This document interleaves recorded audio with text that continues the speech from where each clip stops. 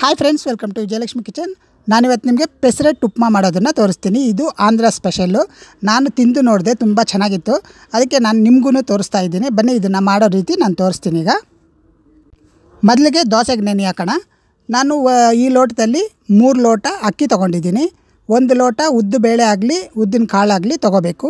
ಮತ್ತು ಒಂದು ನಾಲ್ಕು ಸ್ಪೂನು ಕಡಲೆಬೇಳೆ ಹಾಕಬೇಕು. ಒಂದು ಸ್ಪೂನು ಮೆಂತ್ಯ ಕಾಳು ಹಾಕಬೇಕು. ಹಾಕಿ ಅದನ್ನು ಚೆನ್ನಾಗಿ ತೊಳಿಬೇಕು ಒಂದು ಮೂರು ಸಾರಿ.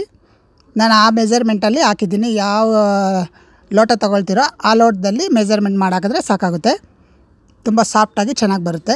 ಈಗ ಇದನ್ನು ಒಂದು ಮೂರು ನಾಲ್ಕು ಸಾರಿ ಚೆನ್ನಾಗಿ ತೊಳಿಬೇಕು. ಆ ಮೇಲ್ಗಡೆ ಪೌಡ್ರ್ ಥರ ಬರುತ್ತಲ್ವ, ಅದೆಲ್ಲ ಹೋಗೋ ತನಕನೂ ಚೆನ್ನಾಗಿ ತೊಳಿಬೇಕು. ತೊಳೆದು ಇದನ್ನು ನೀರು ಹಾಕಿ, ಈಗ ಎಲ್ಲ ಚೆನ್ನಾಗಿ ತೊಳೆದಿದ್ದೀನಿ. ನೀರು ತುಂಬ ತುಂಬಿ ಇದನ್ನು ಒಂದು ಆರು ಅವರು ನೆನೆಸ್ಬೇಕು ಇದನ್ನು. ನೋಡಿ, ಆರು ಅವರ್ ಆಗಿದೆ. ಚೆನ್ನಾಗಿ ನೆಂದಿದೆ ಅಕ್ಕಿ ಎಲ್ಲನೂ, ಅಕ್ಕಿ ಉದ್ದಿನಬೇಳೆ ಕಡಲೆಬೇಳೆ ಮೆಂತ್ಯ ಎಲ್ಲ ಚೆನ್ನಾಗಿ ರುಬ್ಬಿ ಎಲ್ಲ ಚೆನ್ನಾಗಿ ನೆಂದಿದೆ. ಇವಾಗ ಇದಕ್ಕೆ ಅವಲಕ್ಕಿ ಹಾಕಬೇಕು. ನಾವು ಇನ್ನು ರುಬ್ತಾ ಇದ್ದೀವಿ ಇನ್ನೊಂದು ಎರಡು ನಿಮಿಷದಲ್ಲಿ ಅನ್ನೋವಾಗ ಒಂದೆರಡು ಇಡೀ ಅವಲಕ್ಕಿನ, ಗಟ್ಟಿ ಅವಲಕ್ಕಿನ ನೆನೆಸಿ ಅದಕ್ಕೆ ಹಾಕಬೇಕು. ಆಗ ಈ ಅವಲಕ್ಕಿ ಹಾಕಿ ರುಬ್ಬೋದ್ರಿಂದ ತುಂಬ ಸಾಫ್ಟಾಗಿ ಚೆನ್ನಾಗಿ ಬರುತ್ತೆ. ಈಗ ಇದು ನೆಂದಿದೆ. ಈಗ ರುಬ್ಕೊಳ್ತೀನಿ. ದೋಸೆಗೆ ನುಣ್ಣಗೆ ರುಬ್ಕೊಳ್ಬೇಕು. ಇಡ್ಲಿಗಾದರೆ ತರ್ತರಿಯಾಗಿ ರುಬ್ಕೊಬೇಕು ಇಲ್ಲಿ ನಾನು ದೋಸೆಗೆ ರುಬ್ಬೋದ್ರಿಂದ ನುಣ್ಣಗೆ ರುಬ್ಕೋಬೇಕು ಈಗ ಅವಲಕ್ಕಿ ಕೂಡ ಸೇರಿಸಿದ್ದೀನಿ, ಎಲ್ಲ ಮಿಕ್ಸ್ ಮಾಡಿದ್ದೀನಿ. ಈಗ ಇದನ್ನು ನುಣ್ಣಗೆ ರುಬ್ಕೊಳ್ತೀನಿ. ನೀರು ಜಾಸ್ತಿ ಹಾಕದೆ ನುಣ್ಣಗೆ ರುಬ್ಕೋಬೇಕು. ನೋಡಿ ಈ ರೀತಿ ನುಣ್ಣಗೆ ರುಬ್ಕೋಬೇಕು. ನಾನೆಲ್ಲ ಈ ರೀತಿ ರುಬ್ಕೊಳ್ತೀನಿ. ನೋಡಿ ಎಲ್ಲ ರುಬ್ಬಿದ್ದಾಗಿದೆ. ಈಗ ಇದು ತಟ್ಟೆ ಮುಚ್ಚಿ ರಾತ್ರಿ ಇಡೀ ನೆನಿಬೇಕು. ನೋಡಿ ರಾತ್ರಿ ಇಡೀ ನೆಂದಿದೆ, ಚೆನ್ನಾಗಿ ನೆಂದಿದೆ ಚೆನ್ನಾಗಿ ಉಕ್ಕಿ ಬಂದಿದೆ. ನೋಡಿ ಚೆನ್ನಾಗಿ ಉಬ್ಬಿ ಬಂದಿದೆ. ಈಗ ಇದಕ್ಕೆ ಸ್ವಲ್ಪ ಸೋಡಾ ಮತ್ತು ಹಾಕಿ ಚೆನ್ನಾಗಿ ಕಲಿಸ್ಕೊಳ್ಬೇಕು. ನೋಡಿ, ತುಂಬ ಚೆನ್ನಾಗಿ ಉಕ್ಕಿದೆ. ಈಗ ಮೊದಲಿಗೆ ಉಪ್ಪಿಟ್ಟು ಮಾಡ್ಕೊಳ್ಳೋಣ. ಉಪ್ಪಿಟ್ಟಿಗೆ ಈರುಳ್ಳಿ ಸ್ವಲ್ಪ ಜಾಸ್ತಿ ಹಾಕಬೇಕು. ಈರುಳ್ಳಿ, ಕರಿಬೇವು, ಮೆಣಸಿನ್ಕಾಯಿ, ಟೊಮೊಟೊ, ಮತ್ತು ಸಾಸಿವೆ, ಉದ್ದಿನಬೇಳೆ, ಒಂದು ಲೋಟ ರವೆ ತೊಗೊಂಡಿದ್ದೀನಿ. ನೀರು ಒಂದು ಸೈಡ್ ಕಾಯಿಸ್ತಾ ಇರಬೇಕು. ಈ ಸೈಡು ಪಾತ್ರೆಗೆ ಸ್ವಲ್ಪ ಎಣ್ಣೆ ಹಾಕಿ ರವೆನ ಚೆನ್ನಾಗಿ ಉರಿಬೇಕು ಸ್ವಲ್ಪ ಗಮ್ಮನ್ನ ತನಕ ಅದನ್ನು ಹುರಿದೆತ್ತಿದ್ರೆ ಸಾಕಾಗುತ್ತೆ. ನೋಡಿ, ಈ ರೀತಿ ಚೆನ್ನಾಗಿ ಹುರ್ಕೊಳ್ಬೇಕು. ನೋಡಿ ರವೆ ಎಲ್ಲ ಚೆನ್ನಾಗಿ ಹುರಿದಿದ್ದಾಗಿದೆ. ಈಗ ಇದನ್ನು ಸಪ್ರೇಟಾಗಿ ತೊಗೊಳ್ತೀನಿ. ಈಗ ಇದಕ್ಕೆ ಒಂದು ಐದಾರು ಸ್ಪೂನು ಎಣ್ಣೆ ಹಾಕಬೇಕು. ಎಣ್ಣೆ ಹಾಕಿ ಎಣ್ಣೆ ಕಾದಿದ ಮೇಲೆ ಉದ್ದಿನ ಬೇಳೆ ಆಗಲಿ, ಉದ್ದಿನ ಕಾಳಾಗಲಿ ಅದ್ರ ಜೊತೆಯಲ್ಲಿ ಸಾಸಿವೆ ಹಾಕಿ ಫ್ರೈ ಮಾಡಬೇಕು. ಚೆನ್ನಾಗಿರುತ್ತೆ. ಈಗ ಈರುಳ್ಳಿ, ಕರಿಬೇವು, ಮೆಣಸಿನ್ಕಾಯಿ ಅದೆಲ್ಲ ಹಾಕಿ ಚೆನ್ನಾಗಿ ಫ್ರೈ ಮಾಡಬೇಕು. ಈರುಳ್ಳಿ ಸ್ವಲ್ಪ ಜಾಸ್ತಿ ಹಾಕಿದ್ರೆ ತುಂಬ ಚೆನ್ನಾಗಿರುತ್ತೆ. ಈಗ ಟೊಮಾಟೊ ಸೇರಿಸ್ತಾ ಇದ್ದೀನಿ. ಟೊಮಾಟೊನೂ ಹಾಕಿ ಅದನ್ನೆಲ್ಲ ಚೆನ್ನಾಗಿ ಫ್ರೈ ಮಾಡಬೇಕು. ನೋಡಿ, ಈ ರೀತಿ ಎಲ್ಲ ಫ್ರೈ ಮಾಡಬೇಕು. ಈಗ ರುಚಿಗೆ ತಕ್ಕಷ್ಟು ಉಪ್ಪು ಸೇರಿಸ್ತೀನಿ. ನೋಡಿಕೊಂಡು ಉಪ್ಪು ಸ್ವಲ್ಪ ಕಮ್ಮಿ ಹಾಕಬೇಕು. ನಾವು ಆಲ್ರೆಡಿ ದೋಸೆ ಹಿಟ್ಟಿಗೂ ಹಾಕಿರ್ತೀವಿ. ನೋಡಿ, ಎಲ್ಲ ಚೆನ್ನಾಗಿ ಫ್ರೈ ಆಗ್ತಾ ಇದೆ. ಈಗ ಸ್ವಲ್ಪ ಅರಶಿನ ಹಾಕ್ತೀನಿ. ಅರಶಿನ ಹಾಕಿ ಚೆನ್ನಾಗಿ ಮಿಕ್ಸ್ ಮಾಡಬೇಕು. ಈಗ ಕಾಯಿಸಿರುವಂಥ ನೀರು ಹಾಕಬೇಕು. ನಾನು ಒಂದು ಲೋಟ ರವೆ ತೊಗೊಂಡಿದ್ದೀನಿ. ಒಂದು ಲೋಟಕ್ಕೆ ಎರಡು ಲೋಟ ನೀರಂಗೆ ಹಾಕಿದ್ರೆ ಕರೆಕ್ಟಾಗಿ ಚೆನ್ನಾಗಿರುತ್ತೆ. ಇನ್ನು ಸ್ವಲ್ಪ ಉದುರುದ್ರಾಗಿ ಬೇಕು ಅನ್ನೋರು ಇನ್ನು ಸ್ವಲ್ಪ ಕಮ್ಮಿ ಮಾಡ್ಕೊಬೋದು. ಸಮ ಸಮ ಒಂದು ಲೋಟಕ್ಕೆ ಎರಡು ಲೋಟ ನೀರು ಹಾಕಿದ್ರೆ ತುಂಬ ಚೆನ್ನಾಗಿರುತ್ತೆ. ಅದಕ್ಕೋಸ್ಕರ ಆ ಮೆಜರ್ಮೆಂಟಲ್ಲಿ ಕೂಡ ಹಾಕ್ಬೋದು. ಈಗ ಇದಕ್ಕೆ ಹುರಿದಿರೋ ಅಂಥ ರವೆ ಸೇರಿಸ್ತಾ ಇದ್ದೀನಿ. ರವೆ ಸೇರಿಸಿ ಗಂಟಿಲ್ದಂಗೆ ನೀಟಾಗಿ ಅದನ್ನು ಕಲಿಸ್ಬೇಕು. ನೋಡಿ ಈ ರೀತಿ ಎಲ್ಲನೂ ಕಲಿಸ್ಕೊಳ್ಬೇಕು. ತುಂಬ ಹೈ ಫ್ಲೇಮ್ ಇಡಬಾರ್ದು ಮೀಡಿಯಮ್ ಫ್ಲೇಮ್ ಇಟ್ಕೊಂಡು ನಿಧಾನಕ್ಕೆ ಕಲಿಸ್ಬೇಕು. ಈ ರೀತಿ ನಾವು ಕಾಯಿಸಿ ಹಾಕೋದ್ರಿಂದ ಬೇಗನೆ ಆಗುತ್ತೆ. ಅದಕ್ಕೋಸ್ಕರ ನಾವು ಕಾಯಿಸಿ ನೀರು ಹಾಕಬೇಕು.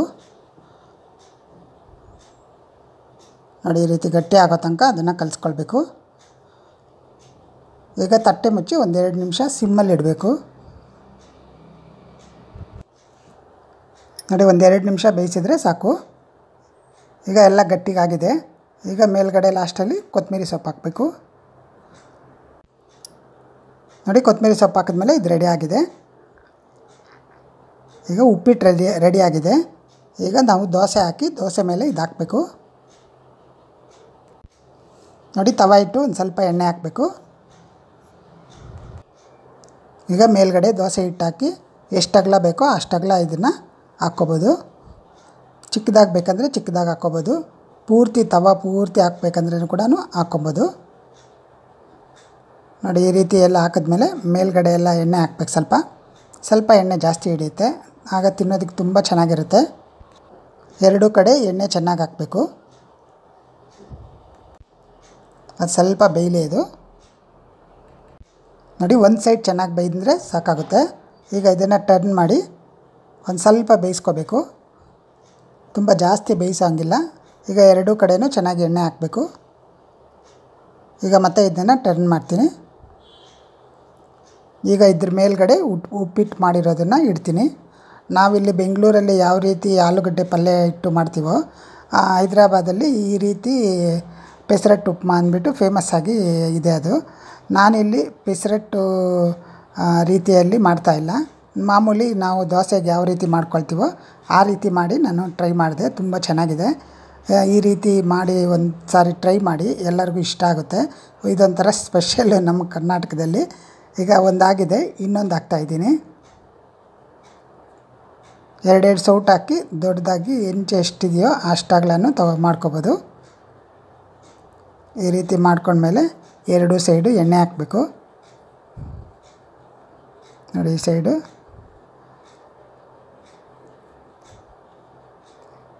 ಎರಡು ಸೈಡು ಎಣ್ಣೆ ಹಾಕಿ ಚೆನ್ನಾಗಿ ಒಂದು ಸೈಡ್ ಮಾತ್ರ ಚೆನ್ನಾಗಿ ರೋಸ್ಟ್ ಮಾಡ್ಕೋಬೇಕು. ನೋಡಿ ರೋಸ್ಟ್ ಆಗಿದೆ. ಈಗ ಟರ್ನ್ ಮಾಡ್ತೀನಿ. ಈಗ ಟರ್ನ್ ಮಾಡಿದ್ಮೇಲೆ ಒಂದು ಸ್ವಲ್ಪ ಬೆಂದರೆ ಸಾಕು ಆ ಕಡೆ. ಈಗ ಈ ಸೈಡು ಎಣ್ಣೆ ಹಾಕಿ ಈಗ ಮತ್ತೆ ಅದನ್ನು ಟರ್ನ್ ಮಾಡ್ತೀನಿ. ನೋಡಿ ಇಷ್ಟು ಹಾಕಿದ್ರೆ ಸಾಕು. ಈಗ ಮತ್ತೆ ಅದರ ಸೆಂಟ್ರಲ್ಲಿ ಉಪ್ಪಿಟ್ಟಿಕ್ಬೇಕು ಈ ರೀತಿ ಉಪ್ಪಿಟ್ಟಿಟ್ಟು ನಾವು ಮಕ್ಕಳಿಗೆ ಲಂಚ್ ಬಾಕ್ಸ್ ಕೂಡ ಹಾಕಿ ಕಳಿಸ್ಬೋದು, ದೊಡ್ಡವರು ಕೂಡ ಲಂಚ್ ಬಾಕ್ಸ್ ತೊಗೊಂಡೋಗ್ಬೋದು. ಇದನ್ನು ಈ ರೀತಿ ಹಾಕಿ ಅದನ್ನು ಕಟ್ ಮಾಡಿ ತಗೊಂಡೋಗ್ಬೋದು. ತುಂಬ ಚೆನ್ನಾಗಿರುತ್ತೆ. ತೆಂಗಿನಕಾಯಿ ಚಟ್ನಿ ಇದ್ರ ಜೊತೆಯಲ್ಲಿ ತುಂಬ ಚೆನ್ನಾಗಿರುತ್ತೆ. ನೋಡಿ ರೆಡಿ ಆಗಿದೆ. ಈಗ ಸರ್ವಿಂಗ್ ಪ್ಲೇಟ್ ತೆಗಿತೀನಿ. ನೋಡಿ, ತುಂಬ ರುಚಿಕರವಾದ ಉಪ್ಮಾ ಪೆಸರಟ್ಟು ರೆಡಿಯಾಗಿದೆ ನಾನಿಲ್ಲಿ ಪೆಸರಟ್ಟು ಬದಲಾಗಿ ನಾವು ಮಾಮೂಲಿ ನಮ್ಮ ದೋಸೆ ಯಾವ ರೀತಿ ಮಾಡ್ತೀವೋ ಆ ರೀತಿ ಮಾಡಿ ನಾನು ಅದರಲ್ಲಿ ಹಾಕಿ ಮಾಡಿದ್ದೀನಿ. ತುಂಬ ಚೆನ್ನಾಗಿರುತ್ತೆ. ನಮ್ಮ ಬೆಂಗಳೂರಲ್ಲಿ ಇದು ಹೊಸ ರುಚಿ ಅಂತಲೇ ಹೇಳ್ಬೋದು. ಆದರೂ ಕೂಡ ಚೆನ್ನಾಗಿರುತ್ತೆ. ಒಂದು ಸಾರಿ ಟ್ರೈ ಮಾಡಿ ನಿಮಗೂ ಇಷ್ಟ ಆಗುತ್ತೆ. Okay friends? ಆದಷ್ಟು ನನ್ನ ವೀಡಿಯೋನ ಲೈಕ್, ಶೇರ್, ಸಬ್ಸ್ಕ್ರೈಬ್ ಮಾಡಿ. Okay friends? Thank you.